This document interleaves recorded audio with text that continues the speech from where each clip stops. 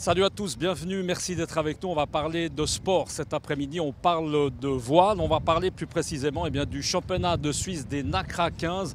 Première édition ici à la Tour Carré, à quelques pas de la nautique. Et puis vous le voyez, eh bien, malheureusement, euh, on doit vous le dire, eh bien, aujourd'hui les régates ont été annulées par manque de vent. Oui, on vous rassure, par manque de vent. Vous entendez bien, c'est vrai que depuis que les régates ont été annulées, eh bien, le vent s'est euh, à quelque part levé. On a beaucoup de plaisir d'être avec deux navigateurs qu'on connaît bien sur euh, ce lac euh, Léman. Nicolas Grange et Ernesto Bertarelli, messieurs, bonjour. Merci beaucoup d'être euh, ici avec, avec moi cet après-midi. On va rappeler, c'est Alingui, c'est bien évidemment Ocalis de bateau D35. Mais là, on va s'intéresser, vous allez le voir, à une toute nouvelle catégorie NACRA 15 qui tient en tout cas toutes ses, promesses. Nicolas, on va peut-être refaire un peu l'histoire avant de parler de ce championnat de Suisse malheureusement un peu avorté.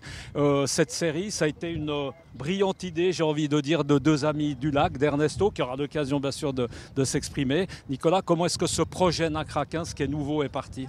Bah, l'idée était de, se dire que les jeunes, quand ils commencent le bateau, ils commencent le bateau sur en, optimiste. Ils font des régates à 150 bateaux euh, en Suisse, à 600 bateaux à l'étranger.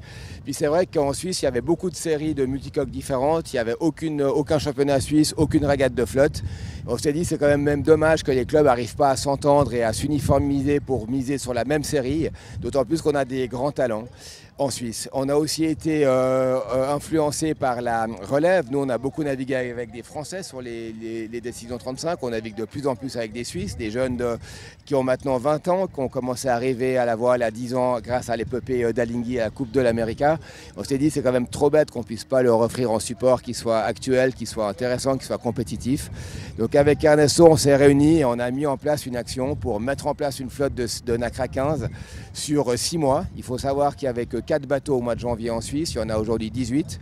Ils seront 25 à 30 l'année prochaine et ça sera tout simplement la plus grosse flotte de Nacra 15 du monde.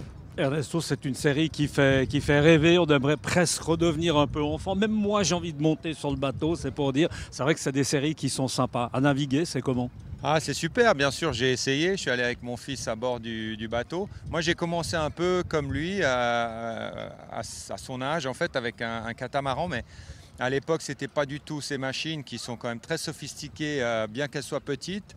C'est vraiment un support euh, idéal pour eux. Et puis surtout, moi j'ai commencé tout seul euh, dans une baie au milieu du Massachusetts, alors que lui, eh ben, il a la chance de naviguer avec 17 bateaux hier et 25 comme Nicolas le disait l'année prochaine. Ernesto, c'est un projet, ou Nicolas, les deux, Ernesto, c'est un projet qui, euh, qui est bien parce qu'il rassemble un peu toutes euh, les forces euh, lémaniques qui se sont mises ensemble. Hein. Chacun a, mis un petit peu la main, j'allais dire d'abord dans le porte-monnaie pour payer les bateaux. Alors peut-être un mot par rapport à ces achats de bateaux, parce que c'est une, c'est une très très belle initiative, vous avez eu les deux. Ah oui, alors bien sûr on aide. Euh, au financement des bateaux, mais il faut quand même souligner que c'est les clubs euh, de la région qui euh, s'engagent financièrement aussi pour les bateaux, mais surtout pour amener les jeunes sur l'eau et sur les bateaux. Donc il y a des coachs, il y a des clubs très motivés. Nicolas les a tous rencontrés et c'est vrai qu'il y a une belle, belle dynamique helvétique autour de ce projet. Nicolas, on l'a vu tout à l'heure, il y avait une réunion justement, hein, on peut imaginer, de tous ces, responsables de, clubs nautiques. Qu'est-ce qui s'est dit? Comment va évoluer la série? Bah, le but, c'est de mettre en place le programme pour 2019. Donc, on, a commencé euh, avec ce premier championnat suisse qui est pour nous l'aboutissement du début du projet. Mais maintenant, le projet doit vraiment prendre forme. Donc l'année prochaine, il y aura une série de 8 régates. Il y en aura 5 sur le lac Clément et 3 sur d'autres lacs en Suisse. Et puis, on va, il y a aussi tout un programme international. Parce que c'est vrai que le NACRA, c'est un bateau qui a une plage d'utilisation très vaste. On peut aussi bien l'utiliser en école de voile à la sortie de l'Optimiste. Et on peut l'utiliser à un niveau de compétition très élevé, euh, championnat du monde des Jeux Olympiques de la jeunesse. Alors tout à l'heure, on va s'en rendre compte. On va leur laisser la parole parce que tous les jeunes sont derrière nous. Bah, ils attendent tout simplement simplement la distribution des prix à défaut du vent qui s'élevait. Ce qui est sympa, c'est qu'on le disait tout à l'heure, c'est que vos enfants maintenant commencent à, prendre goût un peu à la voile. Sympa de voir son fils sur un bateau, Ernesto, non? Ah, c'est super sympa. Euh, certainement le sa, première, fois, sa première régate, hein, il commence. Alors oui, effectivement, le, fils de Nicolas, Arnaud, euh, navigue depuis très longtemps, très très bien. D'ailleurs, il navigue euh, en D35 pour vous dire le niveau d'Arnaud. Euh, et évidemment, il gagne euh, haut la main ce championnat suisse, alors que mon fils euh, vient de commencer cet été avec justement ce nouveau bateau qui est arrivé sur le lac et je suis assez content de ce qu'il a réussi à faire en quelques navigations. Il s'est bien débrouillé, je crois qu'il a été non, deuxième dans une manche. il, a, il, a, fait mieux, il a fait mieux que bien, c'est ce qu'on m'a souvent un petit peu avant et j'ai vu les résultats.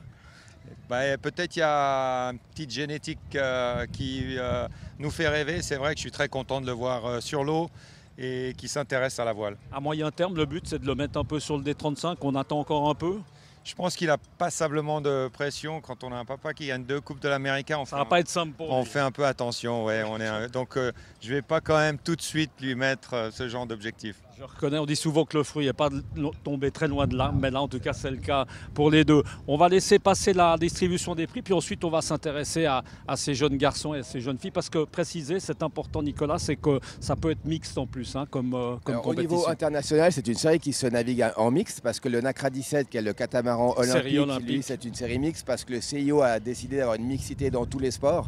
Donc le NACRA 15, pour faire les grandes régates internationales, c'est mixte. Par contre, pour les régates nationales, euh, on peut avoir des équipages garçon-garçon ou fifi.